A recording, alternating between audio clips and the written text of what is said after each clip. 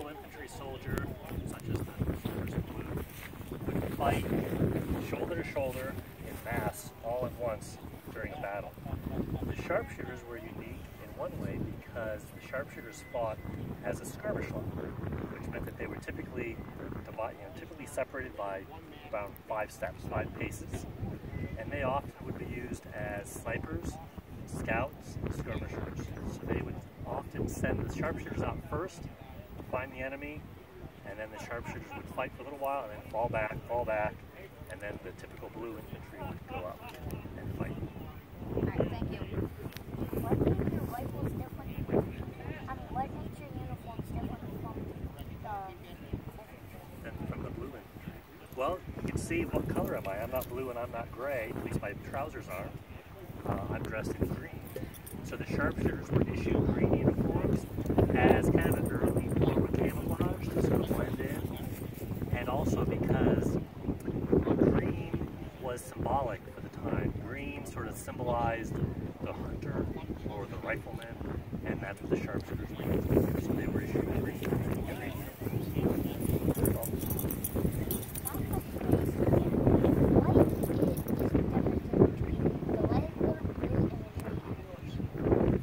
The, blue, what's different between the blue and the green? Oh, the rifles. Oh, sure. Okay. Well, the typical blue soldier, the blue infantry, they had what were, what are called muzzle loaders, which meant that they loaded from the muzzle, from this end of the barrel. There would take the cartridge, rip it open, pour the powder in, put the bullet on top, and then use their ramrod and ram that bullet down. What is this rifle missing? I don't, I don't have a ramrod on this rifle. So this is a Sharps rifle. And the Sharps rifle is a breech loading rifle, which means that instead of loading from this end, actually loads from the back end. This actually opens up. If you guys want to take a look, you can actually look through there and see daylight. Bottom of that, that barrel. Can you see, can you see daylight? It's dirty because I fired it earlier. So they would, the sharpshooter would take a cartridge, think about it like a paper tube, paper tube that would have gunpowder inside that paper tube. They would slide it up inside into the breech, and then they would close the breech. And when they closed the breech, it would peel back the paper, exposing the powder.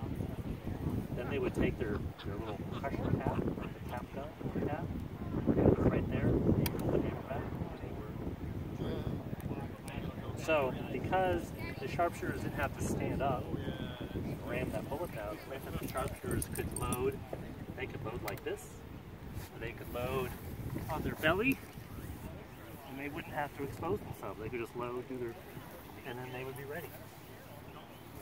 And because the sharpshooters were fighting as a skirmish line or as snipers, they were told to find cover. Go hide behind that rock, hide in hide behind that tree. And then with this breech loaded rifle, they were just they were very effective at doing it. The problem was there weren't that many of them, and they were usually outnumbered, so that's where they would fight a little bit and they would fall back. Thank you for your time. Alright, so, alright guys, so if you want to learn more about the Berdan sharpshooters at Gettysburg, look up on your computer or mobile device. Uh, the history. Gettysburg, Berdan sharpshooters at Gettysburg. Thank you. First time I've been out here with them.